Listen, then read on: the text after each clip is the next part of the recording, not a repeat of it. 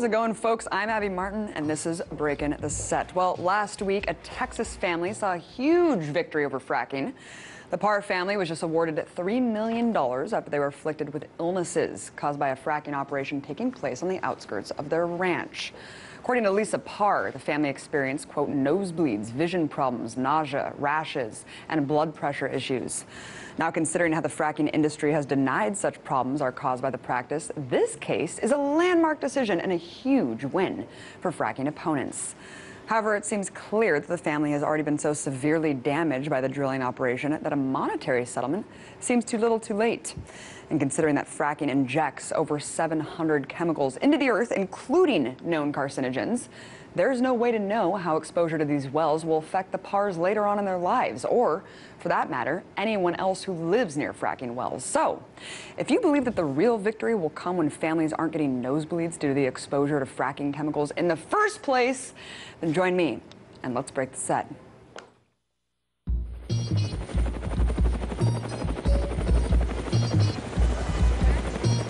It was a terrible mistake, and we're working very hard to make up for it.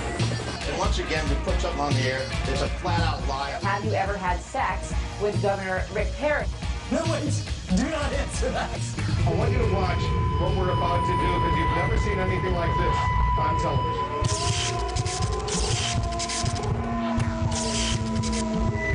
What we need is to question more and to keep it uncensored, real and raw. My simple mission is to change the globe. I'ma do it with this passion and fire and tone. These words are hard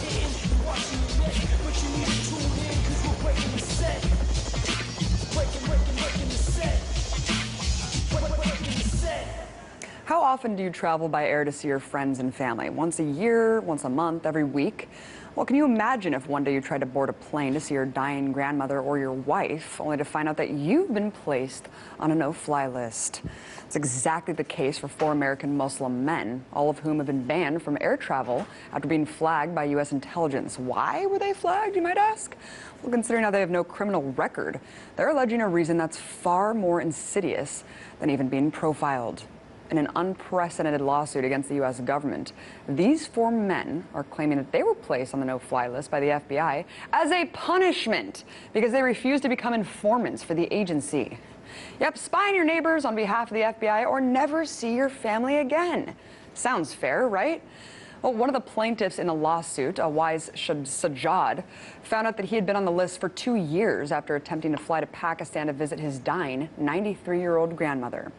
According to Sajjad, after he inquired about why he was on the list, he was approached by FBI agents who interrogated him and then asked him to work for them as an informant.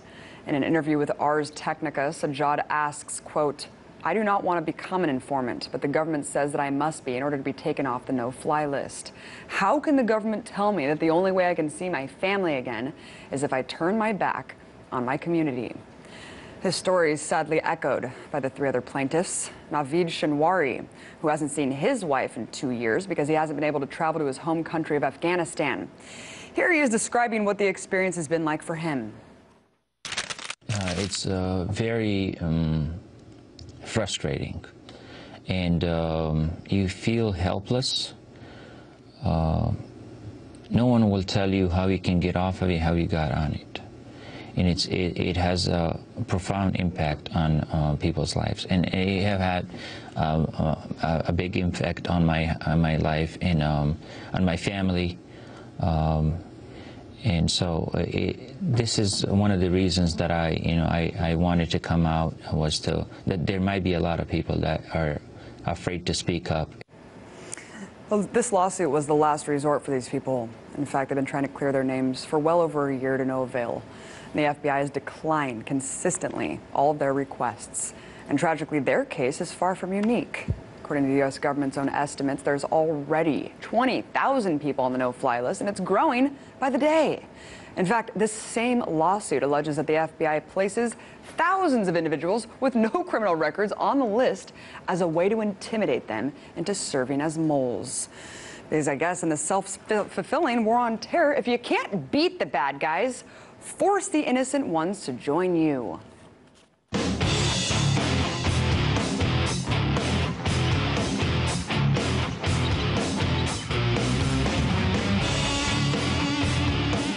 In the 21st century, fewer decisions are harder for new parents than whether or not to circumcise their son. Yes, male circumcision as a practice has been around for over a millennia, rooted in ancient religion and custom. But any pra- practice or procedure that's been practiced for thousands of years should raise questions over whether place it has in modern society. Because of people's various upbringings, religious backgrounds, and manhood, this topic continues to stir up controversy and debate everywhere. Nonetheless, it's a conversation that needs to be had. Personally, as a female, I never gave male circumcision a second thought. So I decided to speak with Georgianne Chapin of Intact America to hear her side of the story. I first asked her when circumcision jumped from being a religious to a mainstream surgical procedure. Most Americans do not understand that circumcision was started in the 19th century at a time when the most horrible thing to do was to masturbate. And circumcision was posed by Victorian doctors in England and America uh, as a way to stop boys from pleasuring themselves. Uh, it was also promoted to cure all kinds of maladies, and you're going to laugh, but this is all extremely well documented in the literature. Uh, circumcision uh, was claimed to prevent tuberculosis or to cure it, to prevent insanity or to cure it, um, to prevent or cure hip dysplasia, to fix crossed eyes. Um, of course, to prevent venereal disease. That's that claim has recurred over the years, and then finally, it was uh, kind of bought into as a way, uh, you know, of, of, keeping boys clean, as as they um, put it, and that that was really a function of the fact that in the early 20th century, populations immigrating from southern Europe were men tended to be intact, and they were poor people living in in poor areas in urban areas of the country. So, being circumcised was associated with poverty, and being I'm sorry, being intact was associated with poverty, and being circumcised was associated with people who were affluent enough to have their babies in the hospitals, where doctors would immediately cut off the the evil foreskin from these poor newborn babies. So it really became entrenched as a medical procedure uh, during a time of extreme ignorance about bodily functions and the causes of various illnesses. And then it became a routine obstetrical intervention and ultimately a great moneymaker for the American medical profession. Uh, let's talk about uh, the arguments that are maintained uh, to support circumcision, uh, Georgianne, like hygiene um, and disease prevention. Well, there's never been. Um, there's never been any proof at all that circumcision prevents any diseases. The latest claim, of course, for HIV is completely bogus. American cemeteries are full of, of circumcised boys and men who died from AIDS. Uh, cutting off a body part, a healthy, normal body part, doesn't prevent you from getting any kind of sexually transmitted disease. Um, the hygiene argument is is also bogus. Number one, um, unwashed body parts have never been proven to threaten the world order or to cause disease in and of themselves. Pretty much somebody's own personal preference as to how much or how little they wash. Uh, we also learn to keep all kinds of other body parts clean. So we learn to brush our teeth and uh, to wash our backsides when we go to the bathroom. And why this um, this frontal part of a man's anatomy is supposed to be so unbelievably threatening and so dirty is is really kind of mystifying when you think about it. Women's genitals are just as complicated as men's and just as difficult to wash and there's, you know, no big push in the United States for for shaving down women's genitals as a way of. Let's talk about the arguments, of course, against circumcision. I think the main one is the loss of sensitivity in a male's penis. Has this been proven? Sure, it has. Um, for uh, and, and you, you really, you know, if, if you told me there are no studies done about what cutting off people's fingertips, whether that it's proven that they lose sensitivity, I would say, do you really need to do a study that in cutting off the most sensitive part of your fingers makes you lose sensitivity? Of course you do. Cutting off the most sensitive part of a man's penis, of course it reduces sensitivity. Uh, the arguments uh, that say that it does not affect men's sensitivity go against, of course, the very reason why circumcision was promoted. From uh, Maimonides, a Jewish philosopher uh, from the 13th century, 12th century, I'm sorry, um, promoted circumcision, said that circumcision was in fact uh, a good thing because it kept men and women from focusing so much on pleasure. Uh, in the 19th century, they cut off boys' foreskins in order to reduce the pleasure from masturbation. So of course it reduces sensitivity, but but the even if it didn't, and even if it did prevent to some degree or reduce certain diseases that a boy or a man could get later in life, none of that is a justification for, for strapping down a healthy, normal newborn child and cutting off part of his body. I mean, no medical institution in the developed world actually endorses circumcision, as far Oh, as I that's know. That's correct. In most That's countries, correct. children are not circumcised. Uh, why do doctors still suggest it uh, to American parents? Or do I, they? I think they're too. Uh, yes, I, many of them, too many of them do. I think there's several reasons. One is it's a terrible thing to people don't like to admit that what they've been doing for so long is a really bad thing. The second thing is many doctors, most American doctors right at this time are probably were probably circumcised themselves as children, and it's hard for them to think uh, that maybe that was a, something that was not only unnecessary but bad. And a third reason is that in the U.S., uh, doctors make the more procedures that they do, the more money they make. So circumcision has become a time-honored way for obstetricians and, and other doctors, pediatricians, to make money. Hospitals make money off of it. Doctors make money off of it medical supply industry makes money off of it. And now there's a cosmetic industry that takes stolen foreskins because they are stolen from their rightful owners um, and makes uh, wrinkle, anti-wrinkle cream and other cosmetic products out of it. So it has it is an industry for sure.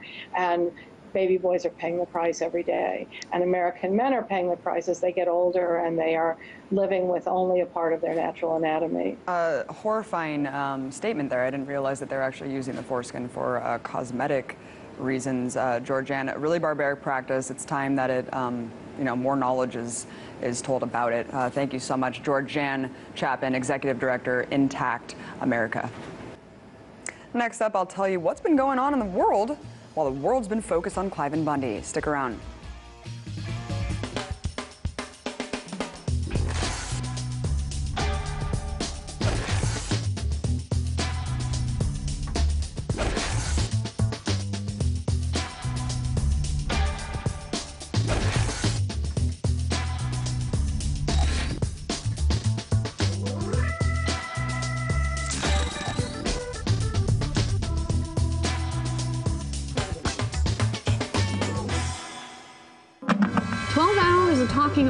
Same story doesn't make it news.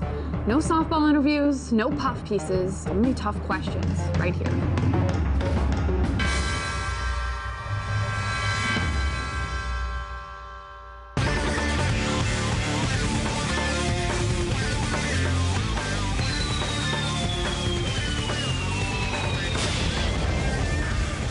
Folks, if you haven't been watching the corporate media for the last month, let me fill you in on what you've missed. That lost Malaysian airliner still lost, Avril Lavigne still irrelevant, and her new video sucks. And yes, Cliven Bundy, a rancher from Nevada who lives out in the middle of nowhere and has probably never seen a black person, is ignorant.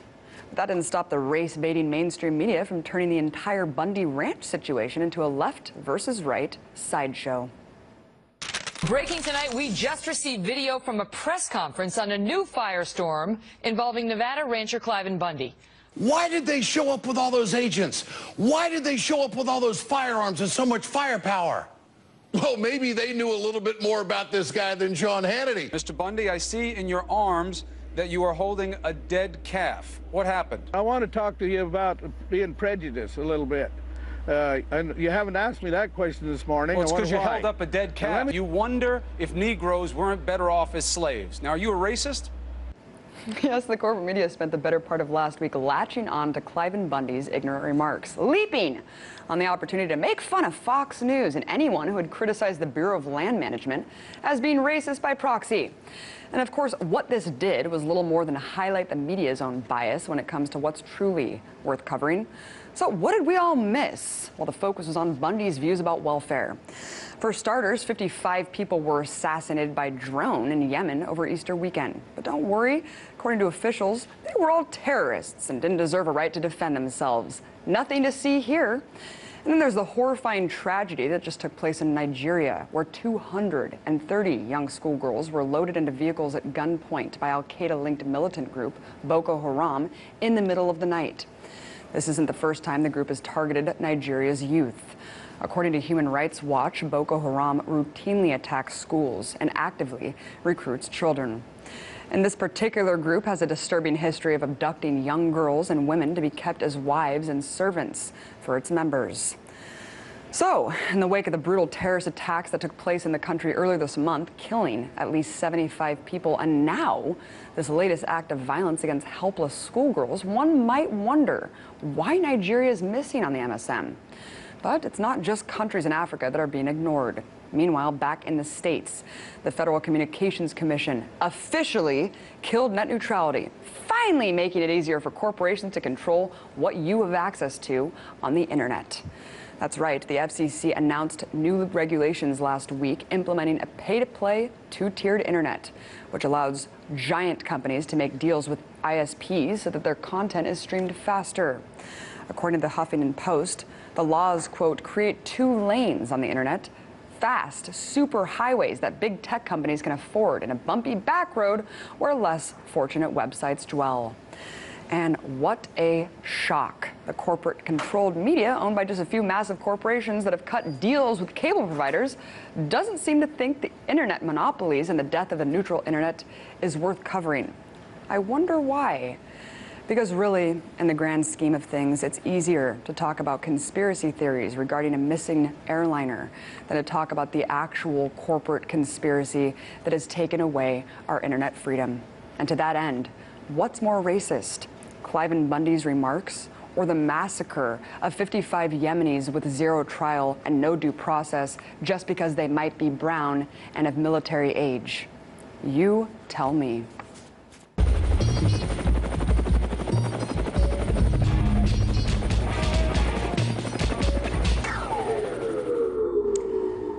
You may remember the viral video campaign Kony 2012. Yes, the poster with Democrats and Republicans and a peace dove on the one thing we can all unite on.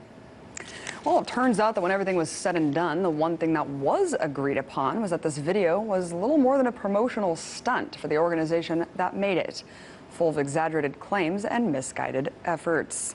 However, even though even two years later, Obama is still sending U.S. troops to aid the effort to hunt down notorious war criminal Joseph Kony.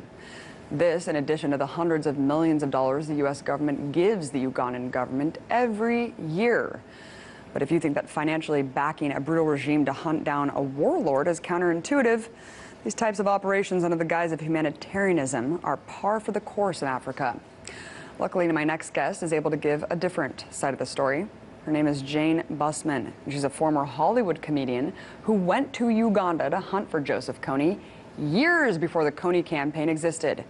And since then, she's been on a mission to tell the truth with a style of writing that's been referred to as agony comedy. Bussmann is also the author of the book A Journey to the Dark Heart of Nameless, Unspeakable Evil. She joined me earlier, and I first asked her why she first decided to go to Uganda. It made pretty clear to me straight away how competitive the youthful industry is. And I didn't have a single qualification beyond sort of high school art. Um, so I thought, um, all I can do is write about stuff. I know, I'll write about Joseph Kony, the story. And I ended up sort of blundering there, write about the story, um, but also to try and get a date with this hot guy, John Prendergast, this peacemaker.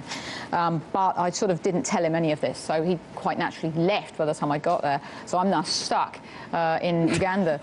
for uh, six weeks, um, and there was nothing to do waiting for this guy because you know he wasn't going to answer any love letters. So I just basically investigated the um, Joseph Kony story, and because I had no money and I was sort of living on the ground, the story that I came across was a way different story from what I would have got if I'd been a real foreign correspondent with somewhere to stay and money to live.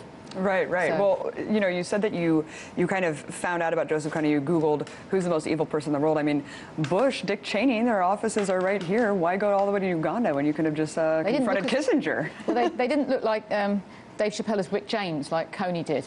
And it wasn't such an obviously baffling story. I just thought, you know, one, you, you had a two, two, million populate, two million people in northern Uganda hiding from one man and a bunch of kids. It always smelled a bit fishy to me. And uh, also because, I say, the hot guy was there. Um, and as I say, when I got there, the story was so unbelievably different. Um, it really was a war that people were keeping going because it was making them so much money.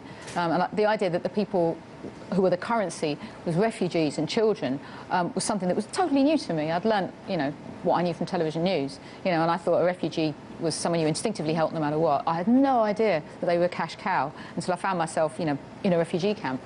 So- Yeah, and let's talk about that because I think people uh, just know Kony from this absurdly viral Kony 2012 video that Mm. actually came out years after you published this book. Yeah. Um, Jane, talk about the story that you kind of encountered once you were on the ground Mm. that was different than what you'd learned. The first thing that started happening to me was meeting people who um, I was all sort of like, oh, isn't it awful, Joseph Kony, you know, magic powers, no one's ever going to stop him. And they said, well, funnily enough, you know, we had a chance to stop him, and they all have a variation on the same story. Um, we called the army when we saw the Joseph Kony's men coming to kidnap our kids. The army didn't come. The most famous story is um, the sister, the St Mary's school kidnapping, in which um, 139 schoolgirls were taken in the middle of the night by um, Joseph Kony's men. And you think, oh, a random kidnapping, how awful. Spirited the girls away, nobody knew, knew where they went. That was completely not the case. The girls, the girls knew they were coming. The army had been seen on their way. The LRA had been seen walking towards the school.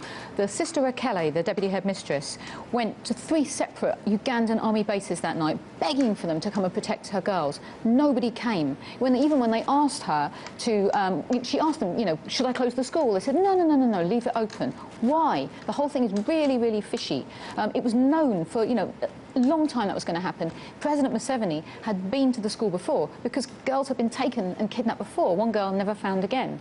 Um, and yet, when the Ugandan army had the chance to stop Joseph Kony, a really big high-profile case, didn't turn up. The nun rescued 109 girls. The army rescued, the 40,000 strong army, fully equipped, only managed to rescue one. As I said in the book, you know, nun 109, army one. Hillary Clinton said of this case, oh, there are no easy answers. Well, excuse me, I would not sit next to Hillary Clinton in maths. Ridiculous. Well, why? I mean, why would they let all these people go? I mean, what was the Ugandan army getting out of keeping Joseph Kony have this kind of child army maintained? Foreign aid. Um, I went to um, look in this refugee camp. I saw starving people. I've been told this refugee camp was protected, a protected village, protected by the entire aid industry, protected by the Ugandan government.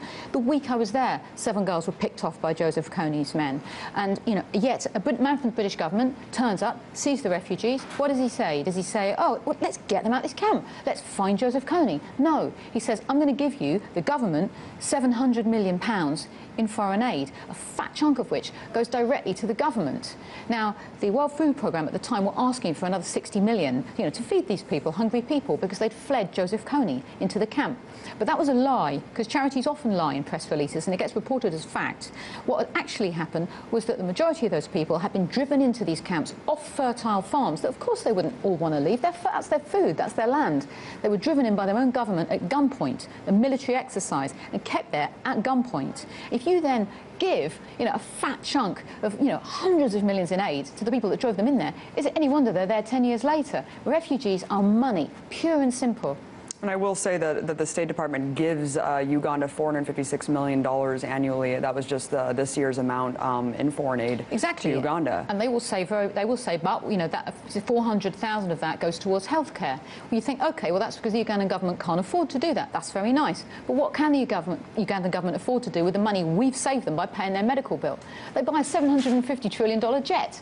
You know, that, they buy weapons with which they suppress their civilian population. How can a Ugandan vote out, you know, a bent president if we keep keeping him in aid, uh, keeping him in power with, you know, enough money to buy the weapons that he suppresses you? Right, just throwing this money at kind of warlord and, and warlords in Africa and these brutal regimes. I mean, and expecting those to be filtered down to the public is just outrageous. Jane, I can't even imagine what you thought when you saw the Kony 2012 viral video after you had already written the book and kind of already cutting through the heart of the story and then seeing these guys, uh, obviously this Christian organization saying it's all about Kony, not even pointing out the kind of the criminal enterprise going on with the Ugandan military. Yeah, well, it might surprise people, but um, t- to be honest, my first thought was, good God, Joseph Kony on the telly. I mean, until until Kony 2012, the only people that would run my story back in the day was the travel pages of the Mail on Sunday because the kids being kidnapped were black. And you know, I, I promise you, the Mail on Sunday. This is a newspaper so right of centre. Their inaugural headline was probably "Black people, whose fault are they?"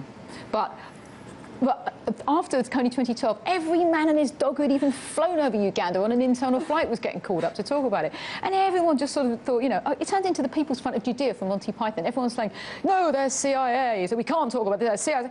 You know, don't talk about the messenger. Talk about Joseph. Joseph Kony, the kidnapping, excuse me. You know, and everyone sort of, it was, it was, it was like the most ridiculous Monty Python sketch I've ever been in. you know, plus, he made masturbating in public cool. And who has done that since Michael Jackson, hmm? So I, I, say, I say fair play. Unbelievable. Um, talk about your, your apron. You're, you've been in Kenya. Yes. Now you're working kind of uh, Yes. working uh, to kind of report on the aid organizations there. Uh, what I'm is just this all taking about? a Mickey. I'm just doing nothing. What's this? This uh, this is my. You know when you pick up a souvenir on, on your travels. Right. Uh, well, I was in um, the Congo researching a comedy drama about charities, and I was taken to you know obviously concerned about rape in the Congo. This is the trendy new thing. Ask Ben Affleck. Um, so I went to you know this place called Heal Africa. This is the rape mothership. This is where Hillary Clinton goes to see the rape. Um, and I, the priest took me to the gift shop sorry, workshop. Um, and he's saying, you know, so we've got so many problems here, 17,000 rape victims. In his workshop, he was solving the problem of the rape by having the rape victims make aprons. So things Africa needs, number one, aprons. Now, I don't know if you can see this, but the fabric they gave the rape victims of the Congo to make this apron is covered in pictures of semi-naked women serving beer. I mean, Wow. you cannot make this up. And that's what they don't like to tell you, the poverty industry. The rapists running around in the Congo are a huge, messy, ugly war militia that was fed, watered by the aid industry. After the Rwanda genocide, two million refugees turned up over the border in the Congo, Burundi. Um, what did the aid industry do? Fed them, watered them, got them back on their feet without saying, excuse me, who are you? They were the Hutu genocidaire. They were 250,000 axe murderers walking the refugees like hostages. The charities, for two years, they were even giving them pubs and cinemas. They paid them in cash. They let them run the camps themselves. Thank you so much, Jane Bussmann. A journey to the dark heart of nameless, unspeakable evil. Really appreciate you coming on. Buy the book. Thank you. That's our show, you guys. Join me again tomorrow when I break the set all over again. Yeah, Prisoners, you call it aggressive. But all I see is lies coming out in your message. I keep it audacious.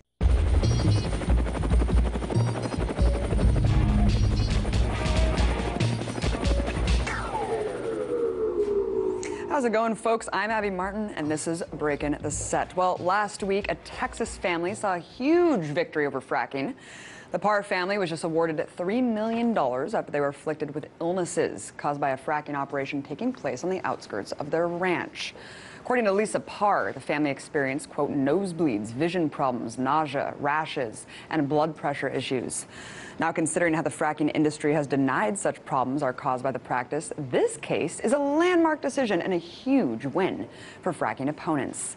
However, it seems clear that the family has already been so severely damaged by the drilling operation that a monetary settlement seems too little too late. And considering that fracking injects over 700 chemicals into the earth, including known carcinogens, there's no way to know how exposure to these wells will affect the Parrs later on in their lives, or, for that matter, anyone else who lives near fracking wells. So, if you believe that the real victory will come when families aren't getting nosebleeds due to the exposure to fracking chemicals in the first place, then join me and let's break the set.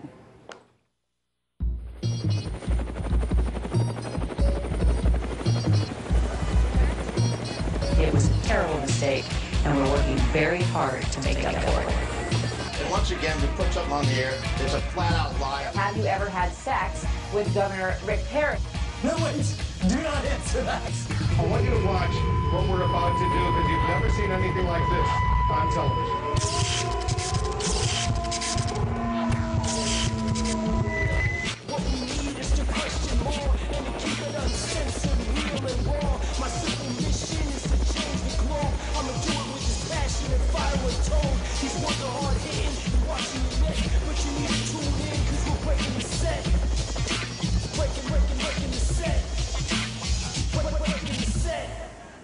Often do you travel by air to see your friends and family? Once a year, once a month, every week?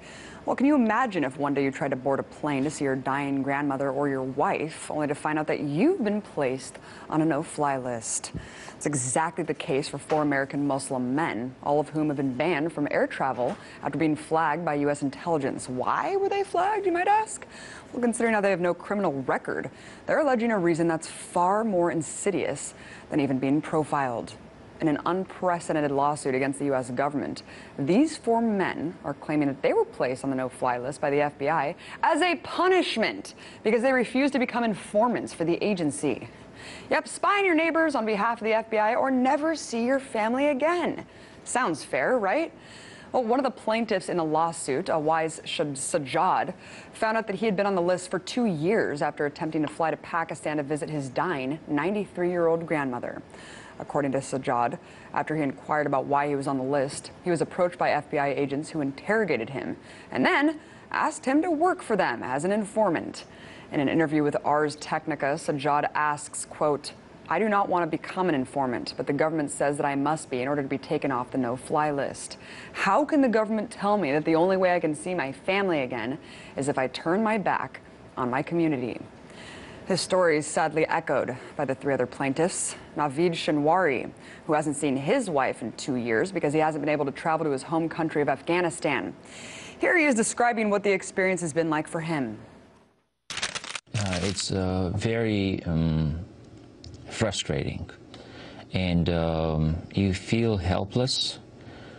Uh, no one will tell you how you can get off of it, how you got on it, and it's it, it has a profound impact on uh, people's lives, and it have had uh, a, a big impact on my on my life and um, on my family. Um, and so uh, it, this is one of the reasons that I, you know, I, I wanted to come out was to that there might be a lot of people that are afraid to speak up. Well, this lawsuit was the last resort for these people. In fact, they've been trying to clear their names for well over a year to no avail. The FBI has declined consistently all of their requests. And tragically, their case is far from unique. According to the U.S. government's own estimates, there's already 20,000 people on the no-fly list, and it's growing by the day. In fact, this same lawsuit alleges that the FBI places thousands of individuals with no criminal records on the list as a way to intimidate them into serving as moles. Because I guess in the self-fulfilling war on terror, if you can't beat the bad guys, force the innocent ones to join you.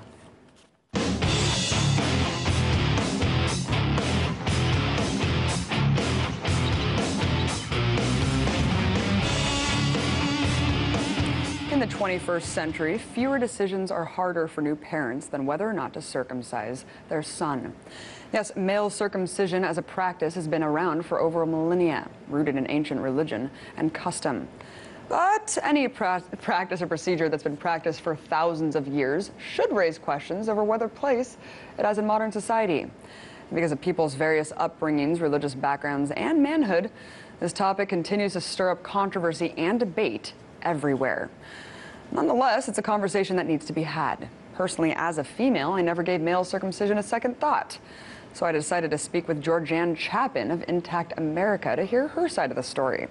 I first asked her when circumcision jumped from being a religious to a mainstream surgical procedure. Most Americans do not understand that circumcision was started in the 19th century at a time when the most horrible thing to do was to masturbate. And circumcision was posed by Victorian doctors in England and America uh, as a way to stop boys from pleasuring themselves. Uh, it was also promoted to cure all kinds of maladies, and you're going to laugh, but this is all extremely well documented in the literature. Uh, circumcision uh, was claimed to prevent tuberculosis or to cure it, to prevent insanity or to cure it.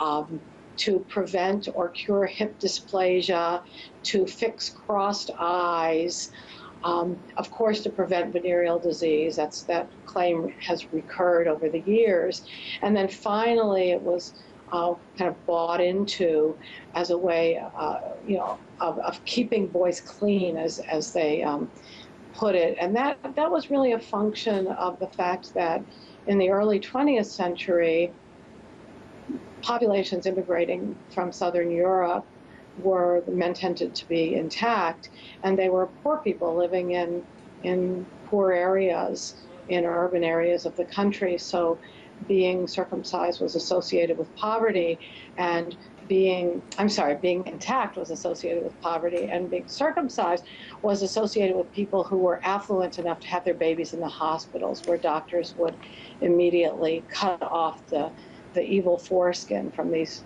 poor newborn babies. So it really became entrenched as a medical procedure uh, during a time of extreme ignorance about bodily functions and the causes of various illnesses.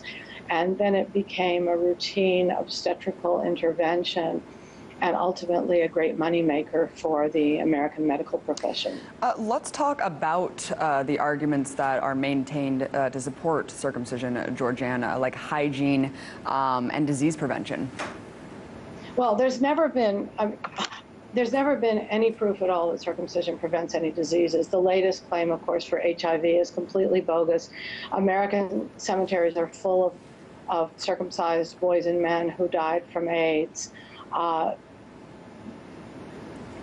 cutting off a body part, a healthy, normal body part, doesn't prevent you from getting any kind of sexually transmitted disease. Um, the hygiene argument is is also bogus. Number one, um, unwashed body parts have never been proven to threaten the world order or to cause disease in and of themselves. Pretty much somebody's own personal preference as to how much or how little they wash.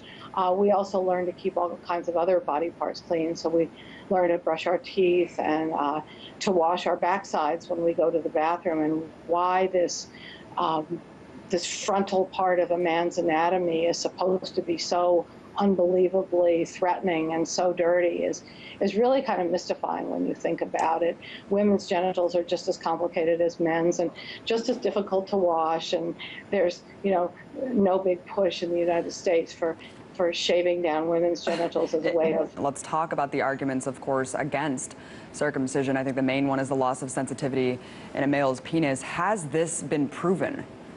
Sure, it has. Um, for uh, and, and, you, you really, you know, if, if you told me there are no studies done about what cutting off people's fingertips, whether that it's proven that they lose sensitivity, I would say, do you really need to do a study that mm-hmm. cutting off the most sensitive part of your fingers makes you lose sensitivity? Of course you do. Cutting off the most sensitive part of a man's penis, of course it reduces sensitivity.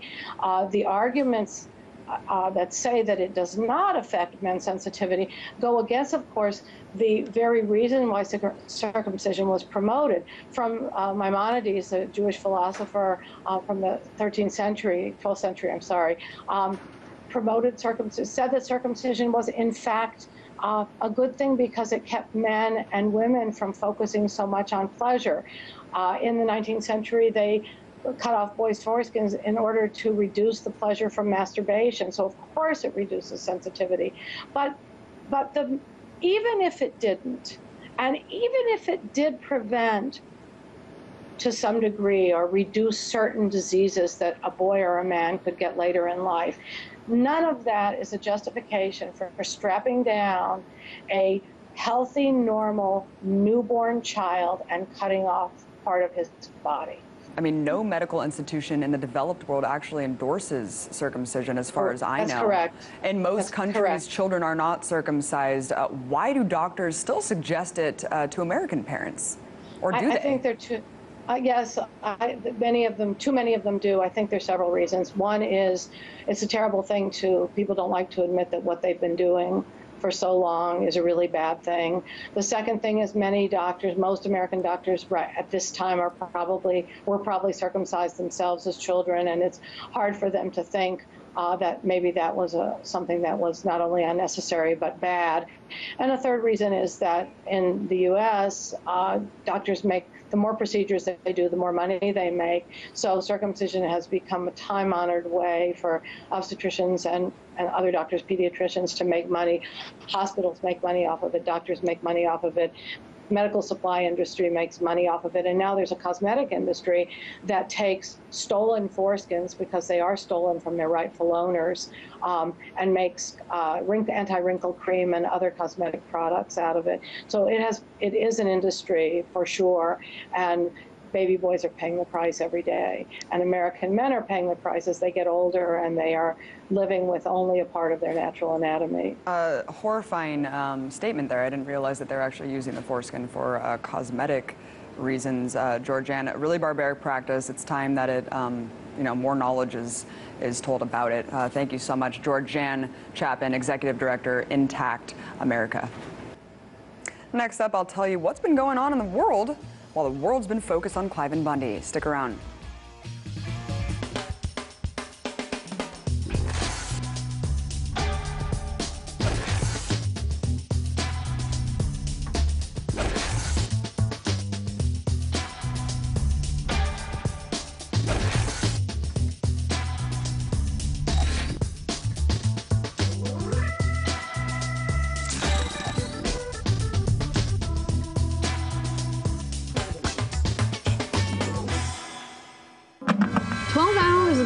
About the same story doesn't make it news. No softball interviews, no puff pieces, only tough questions right here.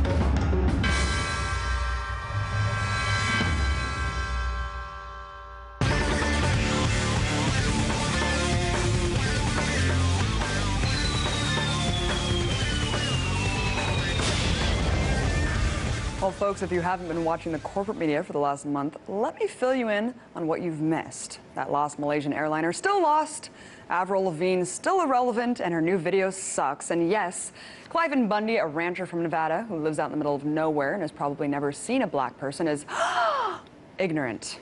But that didn't stop the race-baiting mainstream media from turning the entire Bundy Ranch situation into a left versus right sideshow. Breaking tonight, we just received video from a press conference on a new firestorm involving Nevada rancher Cliven Bundy. Why did they show up with all those agents? Why did they show up with all those firearms and so much firepower? Well, maybe they knew a little bit more about this guy than Sean Hannity. Mr. Bundy, I see in your arms that you are holding a dead calf. What happened? I want to talk to you about being prejudiced a little bit. Uh, and you haven't asked me that question this morning. Well, it's because you why. held up a dead cat. Me... You wonder if Negroes weren't better off as slaves. Now, are you a racist? Yes, the corporate media spent the better part of last week latching on to Cliven Bundy's ignorant remarks, leaping on the opportunity to make fun of Fox News and anyone who had criticized the Bureau of Land Management as being racist by proxy. And of course, what this did was little more than highlight the media's own bias when it comes to what's truly worth covering. So what did we all miss? Well, the focus was on Bundy's views about welfare. For starters, 55 people were assassinated by drone in Yemen over Easter weekend. But don't worry, according to officials, they were all terrorists and didn't deserve a right to defend themselves. Nothing to see here. And then there's the horrifying tragedy that just took place in Nigeria, where 230 young schoolgirls were loaded into vehicles at gunpoint by Al Qaeda linked militant group Boko Haram in the middle of the night. This isn't the first time the group has targeted Nigeria's youth. According to Human Rights Watch, Boko Haram routinely attacks schools and actively recruits children. And this particular group has a disturbing history of abducting young girls and women to be kept as wives and servants for its members. So, in the wake of the brutal terrorist attacks that took place in the country earlier this month, killing at least 75 people, and now this latest act of violence against helpless schoolgirls, one might wonder why Nigeria is missing on the MSM. But it's not just countries in Africa that are being ignored. Meanwhile, back in the States, the Federal Communications Commission officially killed net neutrality, finally making it easier for corporations to control what you have access to on the internet. That's right, the FCC announced new regulations last week implementing a pay to play, two tiered internet, which allows giant companies to make deals with ISPs so that their content is streamed faster. According to the Huffington Post, the laws, quote, create two lanes on the internet fast super highways that big tech companies can afford and a bumpy back road where less fortunate websites dwell. And what a shock. The corporate controlled media, owned by just a few massive corporations that have cut deals with cable providers, doesn't seem to think the internet monopolies and the death of the neutral internet is worth covering. I wonder why. Because really, in the grand scheme of things, it's easier to talk about conspiracy theories regarding a missing airliner than to talk about the actual corporate conspiracy that has taken away our internet freedom. And to that end, what's more racist? Cliven Bundy's remarks or the massacre of 55 Yemenis with zero trial and no due process just because they might be brown and of military age? You tell me.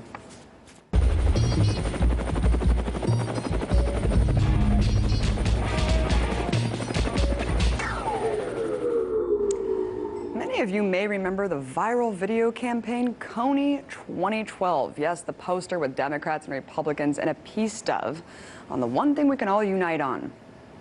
Well, it turns out that when everything was said and done, the one thing that was agreed upon was that this video was little more than a promotional stunt for the organization that made it, full of exaggerated claims and misguided efforts. However, even though even two years later, Obama is still sending U.S. troops to aid the effort to hunt down notorious war criminal Joseph Kony. This, in addition to the hundreds of millions of dollars the U.S. government gives the Ugandan government every year. But if you think that financially backing a brutal regime to hunt down a warlord is counterintuitive, these types of operations under the guise of humanitarianism are par for the course in Africa. Luckily, my next guest is able to give a different side of the story. Her name is Jane Bussmann. She's a former Hollywood comedian who went to Uganda to hunt for Joseph Kony years before the Kony campaign existed. And since then, she's been on a mission to tell the truth with a style of writing that's been referred to as agony comedy. Busman is also the author of the book A Journey to the Dark Heart of Nameless, Unspeakable Evil. She joined me earlier, and I first asked her why she first decided to go to Uganda made pretty clear to me straight away how competitive the youthful industry is. And I didn't have a single qualification beyond sort of high school art. Um, so I thought, um, all I can do is write about stuff. I know, I'll write about Joseph Kony, the story. And I ended up sort of blundering there, write about the story, um, but also to try and get a date with this hot guy, John Prendergast, this peacemaker. Um, but I sort of didn't tell him any of this, so he quite naturally left by the time I got there. So I'm now stuck uh, in Uganda. for uh, six weeks, um, and there was nothing to do waiting for this guy because um, you know he wasn't going to answer any love letters. So I just basically investigated the um, Joseph Kony story, and because I had no money and I was sort of living on the ground, the story that I came across was a way different story from what I would have got if I'd been a real foreign correspondent with somewhere to stay and money to live. Right, right. So. Well, you know, you said that you you kind of found out about Joseph Kony. You Googled who's the most evil person in the world. I mean, Bush, Dick Cheney, their offices are right here. Why go all the way to Uganda when you could have just uh, confronted Kissinger? Well, they, they didn't look like um, Dave Chappelle as Rick James, like Kony did, and it wasn't such an obviously baffling story. I just thought, you know, one you, you had a, two, two million populate, two million people in northern Uganda hiding from one man and a bunch of kids. It always smelled a bit fishy to me, and uh, also because, I say, the hot guy was there. Um, and as I said, when I got there, the story was so unbelievably different. Um, it really was a war that people were keeping going because it was making them so much money. Um, and the idea that the people who were the currency was refugees and children um, was something that was totally new to me. I'd learnt, you know, what I knew from television news, you know, and I thought a refugee was someone you instinctively helped no matter what. I had no idea that they were a cash cow until I found myself, you know, in a refugee camp. So. Yeah, and let's talk about that because I think people uh, just know Kony from this absurdly viral Kony 2012 video that Mm. actually came out years after you published this book. Yeah. Um, Jane, talk about the story that you kind of encountered once you were on the ground Mm. that was different than what you'd learned. The first thing that started happening to me was meeting people who um, I was all sort of like, oh, isn't it awful, Joseph Kony, you know, magic powers, no one's ever going to stop him. And they said, well, funnily enough, you know, we had a chance to stop him, and they all have a variation on the same story. Um, we called the army when we saw the Joseph Kony's men coming to kidnap our kids. The army didn't come. The most famous story is um, the sister, the St Mary's school kidnapping, in which um, 139 schoolgirls were taken in the middle of the night by um, Joseph Kony's men. And you think, oh, a random kidnapping, how awful. Spirited the girls away, nobody knew, knew where they went. That was completely not the case. The girls, the girls knew they were coming. The army had been seen on their way. The LRA had been seen walking towards the school. The sister Rachele, the deputy headmistress, went to three separate Ugandan army bases that night, begging for them to come and protect her girls. Nobody came. When even when they asked her to, um, she asked them, you know, should I close the school? They said, no, no, no, no, no, leave it open. Why? The whole thing is really, really fishy. Um, it was known for, you know, a long time that was going to happen. President Museveni had been to the school before because girls had been taken and kidnapped before. One girl never found again. Um, and yet, when the Ugandan army had the chance to stop Joseph Kony, a really big high-profile case, didn't turn up. The Nun rescued 109 girls. The army rescued, the 40,000 strong army, fully equipped, only managed to rescue one. As I said in the book, you know, Nun 109, army one. Hillary Clinton said of this case, oh, there are no easy answers. Well, excuse me, I would not sit next to Hillary Clinton in maths. Ridiculous. Well, why? I mean, why would they let all these people go? I mean, what was the Ugandan army getting out of keeping Joseph Kony have this kind of child army maintained? Foreign aid. Um, I went to um, look in this refugee camp. I saw starving people. I've been told this refugee camp was protected, a protected village, protected by the entire aid industry, protected by the Ugandan government. The week I was there, seven girls were picked off by Joseph Kony's men. And, you know, yet a man from the British government turns up, sees the refugees. What does he say? Does he say, oh, well, let's get them out of this camp. Let's find Joseph Kony. No. He says, I'm going to give you, the government, 700 million pounds in foreign aid, a fat chunk of which goes directly to the government. Now, the World Food Programme at the time were asking for another 60 million, you know, to feed these people, hungry people, because they'd fled Joseph Kony into the camp. But that was a lie, because charities often lie in press releases, and it gets reported as fact. What actually happened was that the majority of those people had been driven into these camps off fertile farms that, of course, they wouldn't all want to leave. That's their food, that's their life. There's never been any proof at all that circumcision prevents any diseases. The latest claim, of course, for HIV is completely bogus. American cemeteries are full of, of circumcised boys and men who died from AIDS. Uh, cutting off a body part, a healthy, normal body part, doesn't prevent you from getting any kind of sexually transmitted disease. Um, the hygiene argument is is also bogus. Number one, um, unwashed body parts have never been proven to threaten the world order or to cause disease in and of themselves. Pretty much somebody's own personal preference as to how much or how little they wash. Uh, we also learn to keep all kinds of other body parts clean. So we learn to brush our teeth and uh, to wash our backsides when we go to the bathroom. And why this um, this frontal part of a man's anatomy is supposed to be so unbelievably threatening and so dirty is is really kind of mystifying when you think about it. Women's genitals are just as complicated as men's and just as difficult to wash and there's, you know, no big push in the United States for for shaving down women's genitals as a way of Let's talk about the arguments, of course, against circumcision. I think the main one is the loss of sensitivity in a male's penis. Has this been proven? Sure, it has. Um, for uh, and, and you, you really, you know, if, if you told me there are no studies done about what cutting off people's fingertips, whether that it's proven that they lose sensitivity, I would say, do you really need to do a study that uh, cutting off the most sensitive part of your fingers makes you lose sensitivity? Of course you do. Cutting off the most sensitive part of a man's penis, of course it reduces sensitivity. Uh, the arguments uh, that say that it does not affect men's sensitivity go against, of course, the very reason why circumcision was promoted. From uh, Maimonides, a Jewish philosopher uh, from the 13th century, 12th century, I'm sorry, um, promoted circumcision, said that circumcision was in fact uh, a good thing because it kept men and women from focusing so much on pleasure. Uh, in the 19th century, they cut off boys' foreskins in order to reduce the pleasure from masturbation. So of course it reduces sensitivity, but but the even if it didn't, and even if it did prevent to some degree or reduce certain diseases that a boy or a man could get later in life. None of that is a justification for, for strapping down a healthy, normal newborn child and cutting off part of his body. I mean, no medical institution in the developed world actually endorses circumcision, as far as I That's know. correct. In most That's countries, correct. children are not circumcised. Uh, why do doctors still suggest it uh, to American parents? Or do I, they? I think they're too. Uh, yes, I, many of them, too many of them do. I think there's several reasons. One is it's a terrible thing to, people don't like to admit that what they've been doing for so long is a really bad thing. The second thing is many doctors, most American doctors right at this time are probably, were probably circumcised themselves as children, and it's hard for them to think uh, that maybe that was a, something that was not only unnecessary but bad.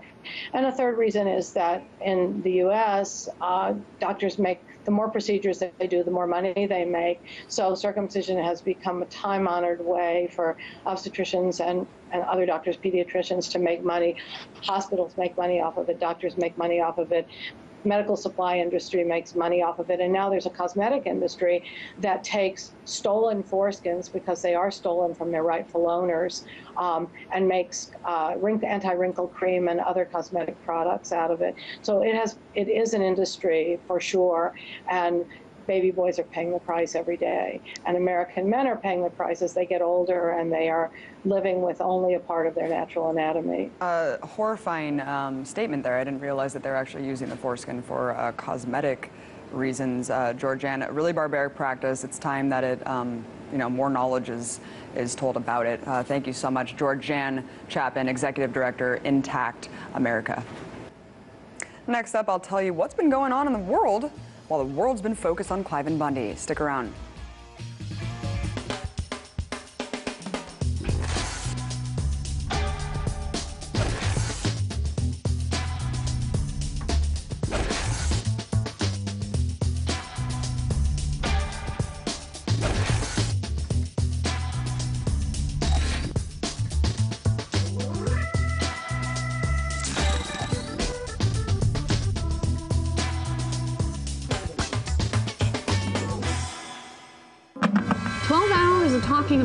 Story doesn't make it news.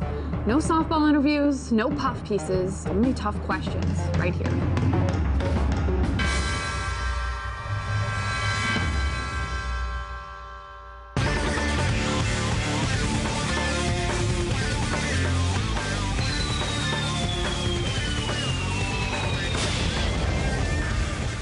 Folks, if you haven't been watching the corporate media for the last month, let me fill you in on what you've missed. That lost Malaysian airliner still lost, Avril Lavigne still irrelevant, and her new video sucks. And yes, Cliven Bundy, a rancher from Nevada who lives out in the middle of nowhere and has probably never seen a black person, is ignorant.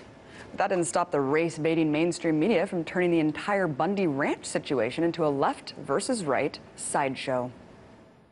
Breaking tonight, we just received video from a press conference on a new firestorm involving Nevada rancher Cliven Bundy. Why did they show up with all those agents? Why did they show up with all those firearms and so much firepower? Well, maybe they knew a little bit more about this guy than Sean Hannity. Mr. Bundy, I see in your arms that you are holding a dead calf. What happened? I want to talk to you about being prejudiced a little bit. Uh, and you haven't asked me that question this morning. Well, it's because you why. held up a dead Now, calf. let me- You wonder if Negroes weren't better off as slaves. Now, are you a racist? Yes, the corporate media spent the better part of last week latching on to Cliven Bundy's ignorant remarks, leaping on the opportunity to make fun of Fox News and anyone who had criticized the Bureau of Land Management as being racist by proxy. And of course, what this did was little more than highlight the media's own bias when it comes to what's truly worth covering. So, what did we all miss? Well, the focus was on Bundy's views about welfare. For starters, 55 people were assassinated by drone in Yemen over Easter weekend. But don't worry, according to officials, they were all terrorists and didn't deserve a right to defend themselves. Nothing to see here. And then there's the horrifying tragedy that just took place in Nigeria, where 230 young schoolgirls were loaded into vehicles at gunpoint by Al Qaeda linked militant group Boko Haram in the middle of the night. This isn't the first time the group has targeted Nigeria's youth. According to Human Rights Watch, Boko Haram routinely attacks schools and actively recruits children. And this particular group has a disturbing history of abducting young girls and women to be kept as wives and servants for its members. So, in the wake of the brutal terrorist attacks that took place in the country earlier this month, killing at least 75 people, and now this latest act of violence against helpless schoolgirls, one might wonder why Nigeria is missing on the MSM. But it's not just countries in Africa that are being ignored. Meanwhile, back in the States, the Federal Communications Commission officially killed net neutrality, finally making it easier for corporations to control what you have access to on the internet. That's right, the FCC announced new regulations last week implementing a pay to play two tiered internet, which allows giant companies to make deals with ISPs so that their content is streamed faster. According to the Huffington Post, the laws, quote, create two lanes on the internet fast super highways that big tech companies can afford and a bumpy back road where less fortunate websites dwell. And what a shock. The corporate controlled media, owned by just a few massive corporations that have cut deals with cable providers, doesn't seem to think the internet monopolies and the death of the neutral internet is worth covering. I wonder why. Because really, in the grand scheme of things, it's easier to talk about conspiracy theories regarding a missing airliner than to talk about the actual corporate conspiracy that has taken away our internet freedom. And to that end, what's more racist? Cliven Bundy's remarks or the massacre of 55 Yemenis with zero trial and no due process just because they might be brown and of military age? You tell me.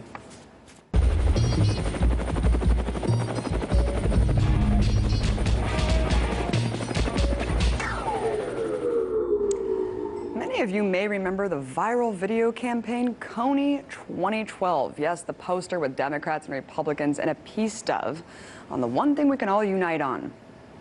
Well, it turns out that when everything was said and done, the one thing that was agreed upon was that this video was little more than a promotional stunt for the organization that made it, full of exaggerated claims and misguided efforts. However, even though even two years later, Obama is still sending U.S. troops to aid the effort to hunt down notorious war criminal Joseph Kony. This, in addition to the hundreds of millions of dollars the U.S. government gives the Ugandan government every year. But if you think that financially backing a brutal regime to hunt down a warlord is counterintuitive, these types of operations under the guise of humanitarianism are par for the course in Africa. Luckily, my next guest is able to give a different side of the story.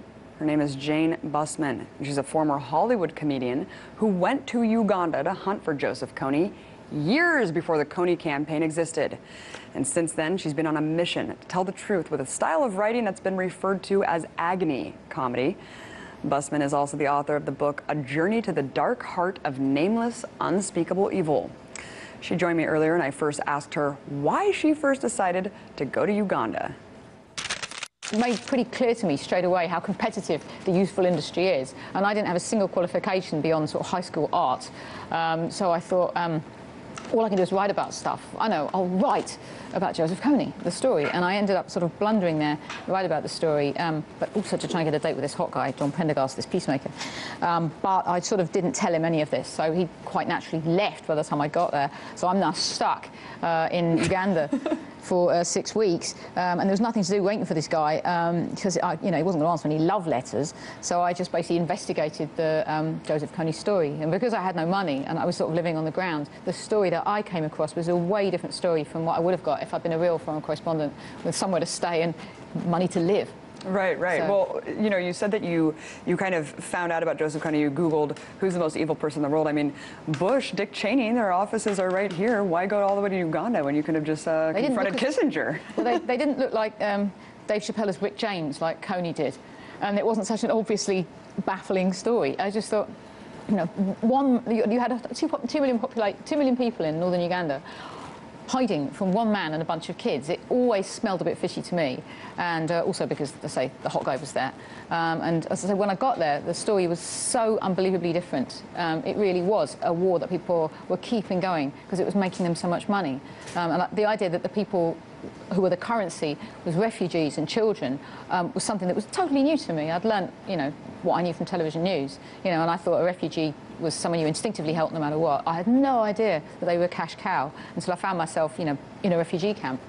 So. Yeah, and let's talk about that because I think people uh, just know Kony from this absurdly viral Kony 2012 video that Mm. actually came out years after you published this book. Yeah. Um, Jane, talk about the story that you kind of encountered once you were on the ground Mm. that was different than what you'd learned.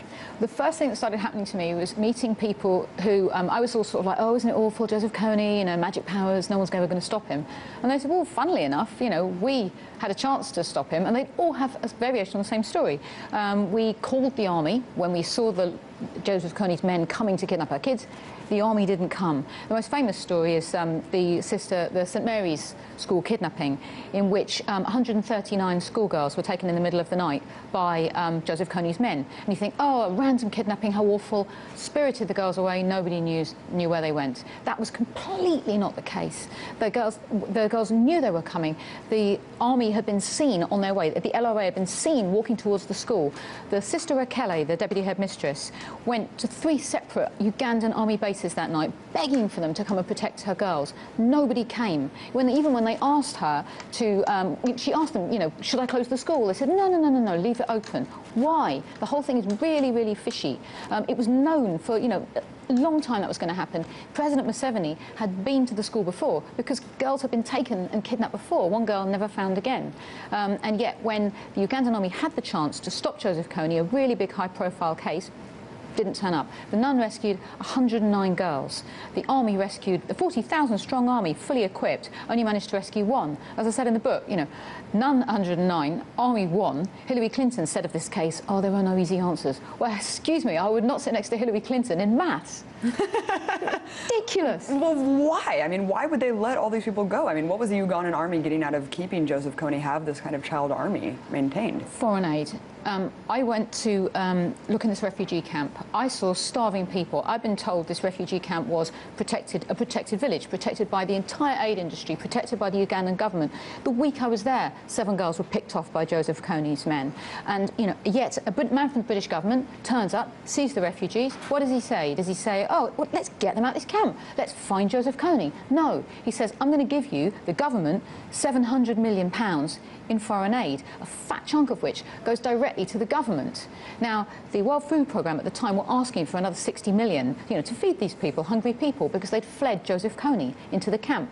But that was a lie, because charities often lie in press releases, and it gets reported as fact. What had actually happened was that the majority of those people had been driven into these camps off fertile farms that, of course, they wouldn't all want to leave. That's their food, that's their land. They were driven in by their own government at gunpoint, a military exercise, and kept there at gunpoint. If you then give, you know, a fat chunk of, you know, hundreds of millions in aid to the people that drove them in there, is it any wonder they're there 10 years later? Refugees are money, pure and simple.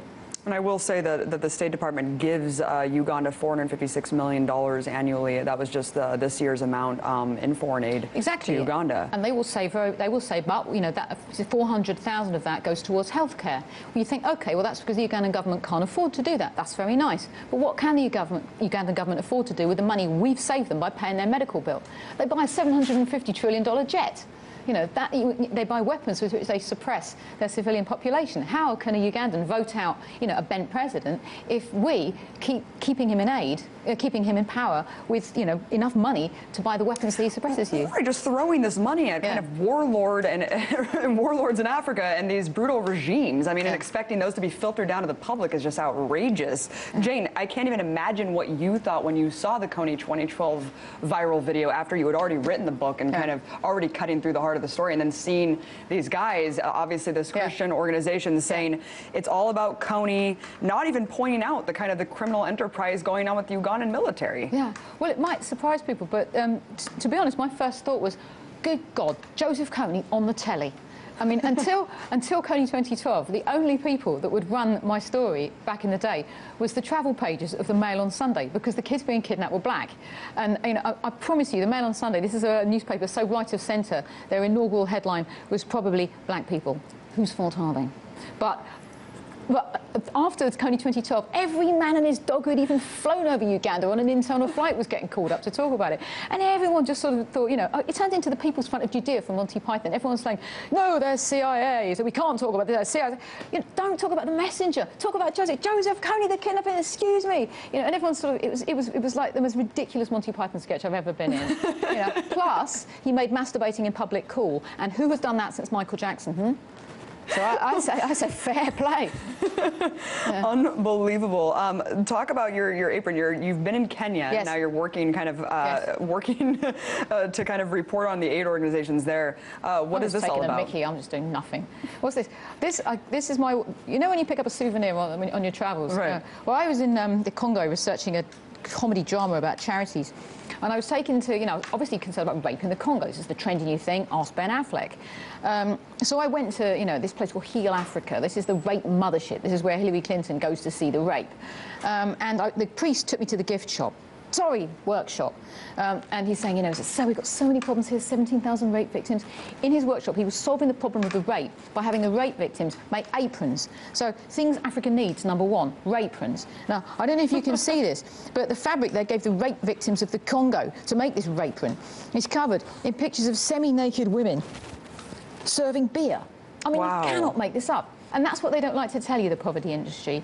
The rapists running around in the Congo are a huge, messy, ugly war militia that was fed, watered by the aid industry. After the Rwanda genocide, two million refugees turned up over the border in the Congo, Burundi.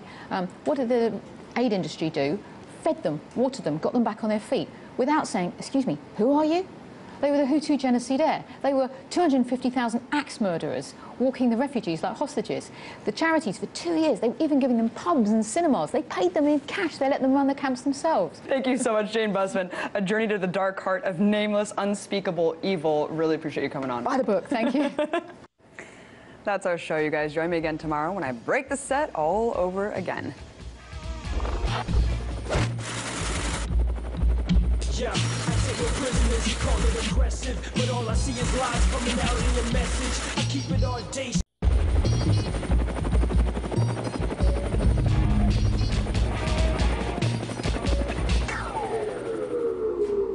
How's it going, folks? I'm Abby Martin, and this is Breaking the Set. Well, last week, a Texas family saw a huge victory over fracking. The Parr family was just awarded $3 million after they were afflicted with illnesses caused by a fracking operation taking place on the outskirts of their ranch.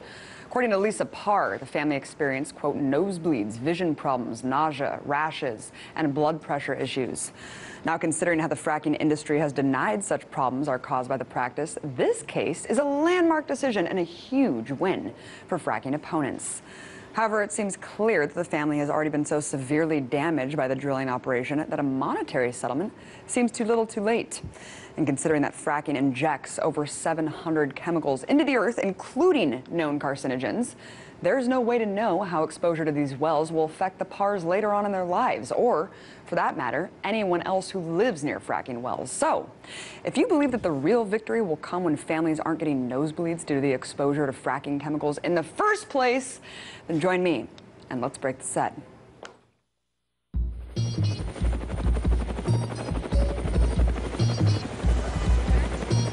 It was a terrible mistake, and we're working very hard to make it up for it. And once again, we put something on the air that's a flat out lie. Have you ever had sex with Governor Rick Perry? No, wait. Do not answer that. I want you to watch what we're about to do because you've never seen anything like this on television.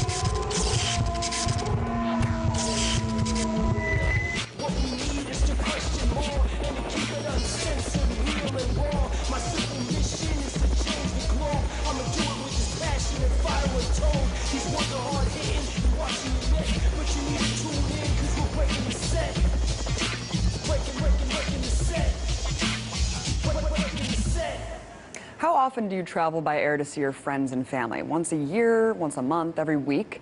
Well, can you imagine if one day you tried to board a plane to see your dying grandmother or your wife, only to find out that you've been placed on a no fly list? It's exactly the case for four American Muslim men, all of whom have been banned from air travel after being flagged by U.S. intelligence. Why were they flagged, you might ask? Well, considering how they have no criminal record, they're alleging a reason that's far more insidious than even being profiled in an unprecedented lawsuit against the U.S. government. These four men are claiming that they were placed on the no fly list by the FBI as a punishment because they refused to become informants for the agency. Yep, spy on your neighbors on behalf of the FBI or never see your family again. Sounds fair, right? Well, one of the plaintiffs in the lawsuit, Awais Sajjad, found out that he had been on the list for two years after attempting to fly to Pakistan to visit his dying 93 year old grandmother. According to Sajjad, after he inquired about why he was on the list, he was approached by FBI agents who interrogated him and then asked him to work for them as an informant. In an interview with Ars Technica, Sajjad asks, quote, I do not want to become an informant, but the government says that I must be in order to be taken off the no fly list. How can the government tell me that the only way I can see my family again is if I turn my back on my community?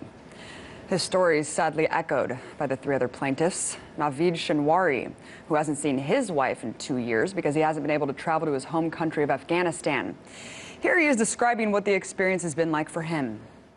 Uh, it's uh, very um, frustrating, and um, you feel helpless. Uh, no one will tell you how you can get off of it, how you got on it. And it's, it, it has a profound impact on uh, people's lives. And it have had uh, a, a, big impact on my, on my life and um, on my family.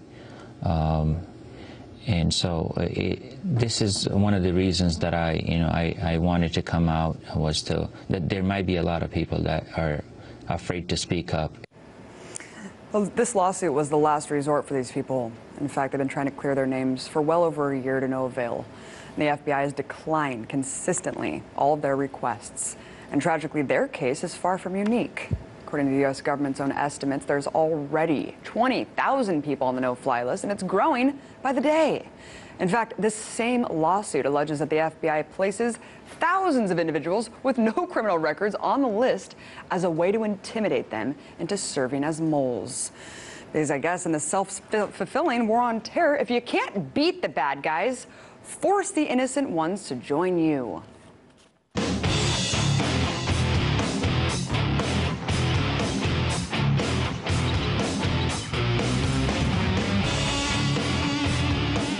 In the 21st century, fewer decisions are harder for new parents than whether or not to circumcise their son. Yes, male circumcision as a practice has been around for over a millennia, rooted in ancient religion and custom. But any pra practice or procedure that's been practiced for thousands of years should raise questions over whether place it has in modern society. Because of people's various upbringings, religious backgrounds, and manhood, this topic continues to stir up controversy and debate everywhere. Nonetheless, it's a conversation that needs to be had. Personally, as a female, I never gave male circumcision a second thought. So I decided to speak with Georganne Chapin of Intact America to hear her side of the story. I first asked her when circumcision jumped from being a religious to a mainstream surgical procedure. Most Americans do not understand that circumcision was started in the 19th century at a time when the most horrible thing to do was to masturbate. And circumcision was posed by Victorian doctors in England and America uh, as a way to stop boys from pleasuring themselves. Uh, it was also promoted to cure all kinds of maladies, and you're going to laugh, but this is all extremely well documented in the literature. Uh, circumcision uh, was claimed to prevent tuberculosis or to cure it, to prevent insanity or to cure it. Um, to prevent or cure hip dysplasia, to fix crossed eyes, um, of course, to prevent venereal disease. That's that claim has recurred over the years, and then finally it was uh, kind of bought into as a way, uh, you know, of, of, keeping boys clean, as as they um, put it, and that that was really a function of the fact that in the early 20th century, populations immigrating from southern Europe were the men tended to be intact, and they were poor people living in in poor areas in urban areas of the country. So, being circumcised was associated with poverty, and being I'm sorry, being intact was associated with poverty, and being circumcised was associated with people who were affluent enough to have their babies in the hospitals, where doctors would immediately cut off the the evil foreskin from these poor newborn babies. So it really became entrenched as a medical procedure uh, during a time of extreme ignorance about bodily functions and the causes of various illnesses. And then it became a routine obstetrical intervention and ultimately a great moneymaker for the American medical profession. Uh, let's talk about uh, the arguments that are maintained uh, to support circumcision, uh, Georgiana, like hygiene um, and disease prevention. Well, there's never been. Um, there's never been any proof at all that circumcision prevents any diseases. The latest claim, of course, for HIV is completely bogus. American cemeteries are full of, of circumcised boys and men who died from AIDS. Uh, cutting off a body part, a healthy, normal body part, doesn't prevent you from getting any kind of sexually transmitted disease.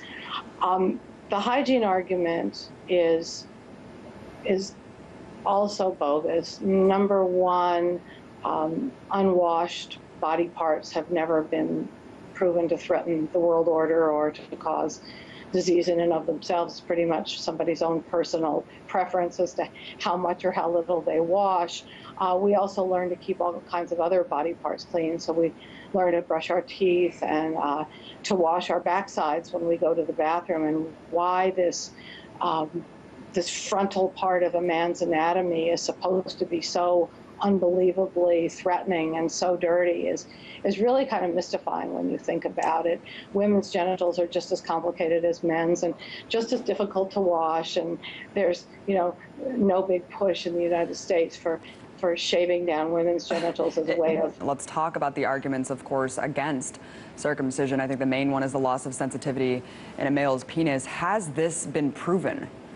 Sure, it has. Um, for uh, and, and you, you really, you know, if, if you told me there are no studies done about what cutting off people's fingertips, whether that it's proven that they lose sensitivity, I would say, do you really need to do a study that it, cutting off the most sensitive part of your fingers makes you lose sensitivity? Of course you do. Cutting off the most sensitive part of a man's penis, of course it reduces sensitivity.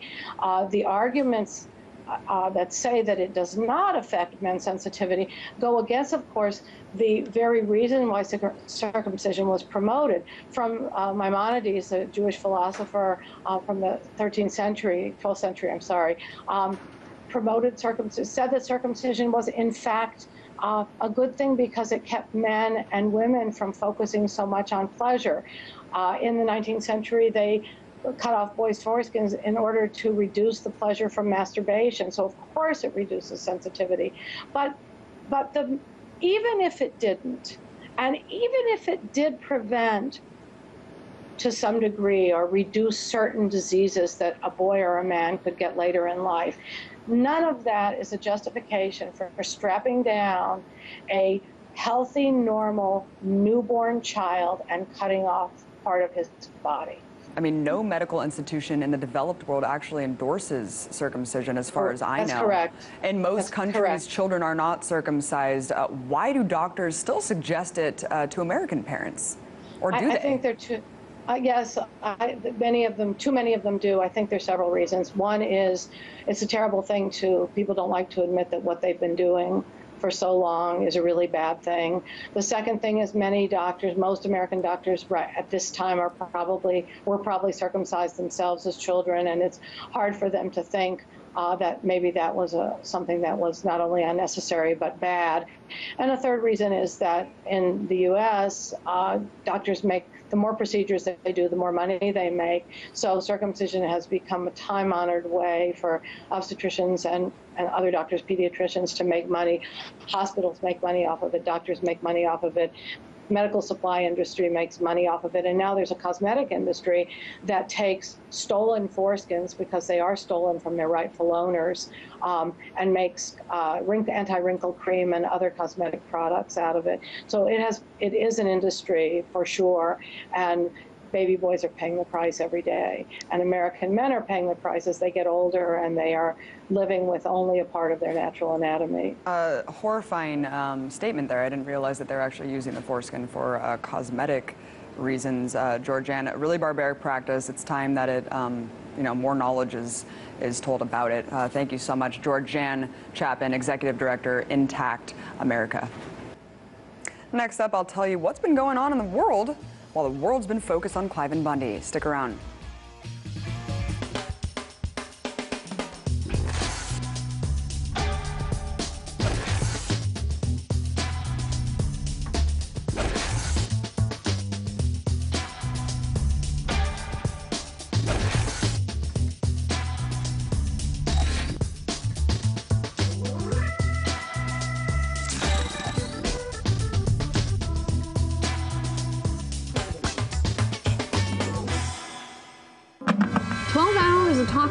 Same story doesn't make it news.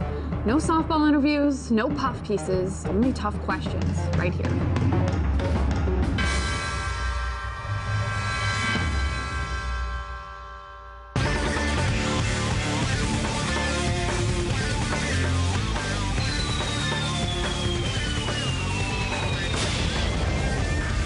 Well, folks, if you haven't been watching,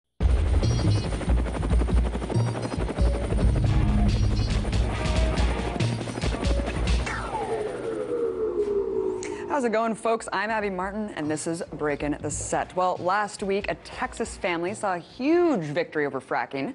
The Parr family was just awarded $3 million after they were afflicted with illnesses caused by a fracking operation taking place on the outskirts of their ranch.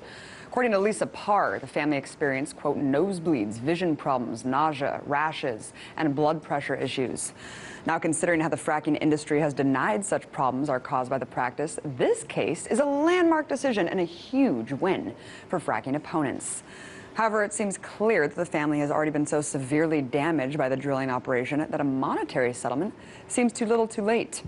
And considering that fracking injects over 700 chemicals into the earth, including known carcinogens, there's no way to know how exposure to these wells will affect the Parrs later on in their lives, or, for that matter, anyone else who lives near fracking wells. So, if you believe that the real victory will come when families aren't getting nosebleeds due to the exposure to fracking chemicals in the first place, then join me and let's break the set.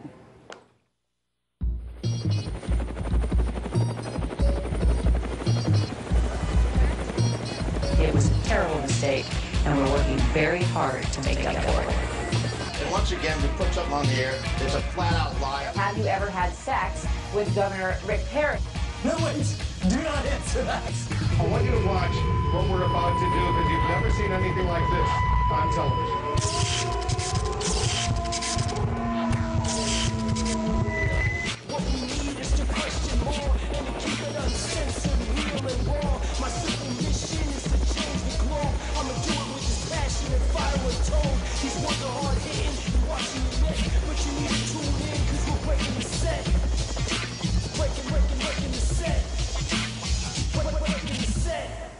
How often do you travel by air to see your friends and family? Once a year, once a month, every week?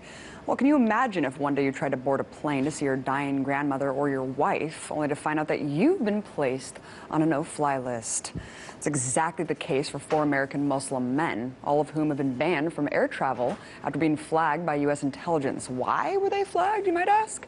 Well, considering how they have no criminal record, they're alleging a reason that's far more insidious than even being profiled in an unprecedented lawsuit against the U.S. government.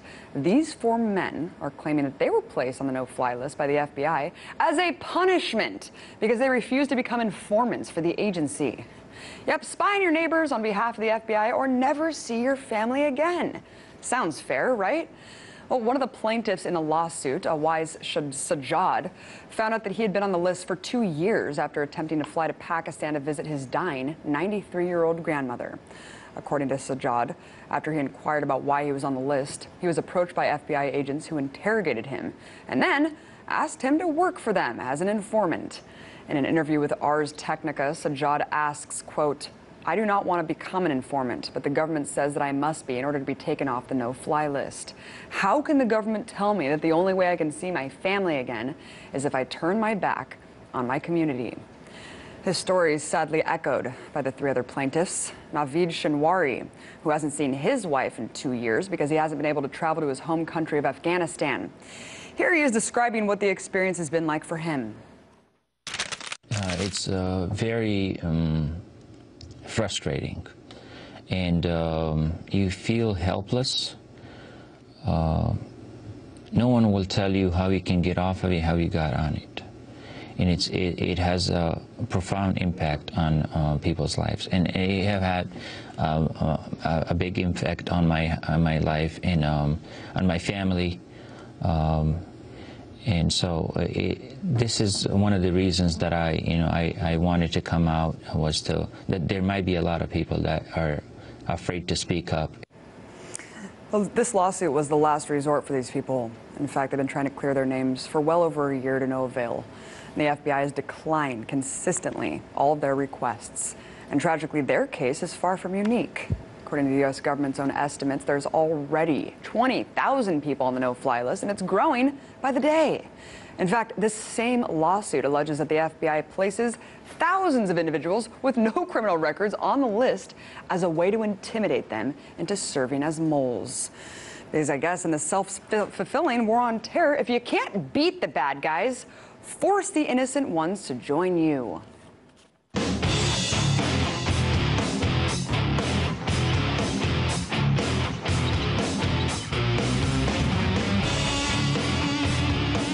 In the 21st century, fewer decisions are harder for new parents than whether or not to circumcise their son. Yes, male circumcision as a practice has been around for over a millennia, rooted in ancient religion and custom. But any pra practice or procedure that's been practiced for thousands of years should raise questions over whether place it has in modern society. Because of people's various upbringings, religious backgrounds, and manhood, this topic continues to stir up controversy and debate everywhere. Nonetheless, it's a conversation that needs to be had. Personally, as a female, I never gave male circumcision a second thought. So I decided to speak with Georganne Chapin of Intact America to hear her side of the story.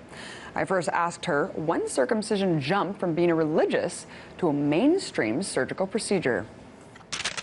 Most Americans do not understand that circumcision was started in the 19th century at a time when the most horrible thing to do was to masturbate. And circumcision was posed by Victorian doctors in England and America uh, as a way to stop boys from pleasuring themselves.